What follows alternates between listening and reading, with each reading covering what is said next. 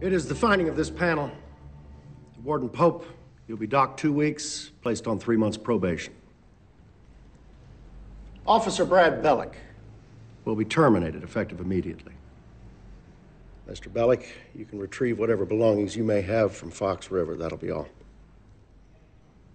I've, uh, I've worked at Fox River uh, since I was 18 years old. Being a CO is my life. And we appreciate that. Look, you know, we could have saved a lot of time if you would have just told us from the beginning that this was going to be a railroad. That'll be all, Warden. There is only one person responsible for this escape out there. His name is Michael Scofield. It's not Officer Bellick. It's not me. But you need a fall guy, fine. But you're not going to be just taking Officer Bellick's job.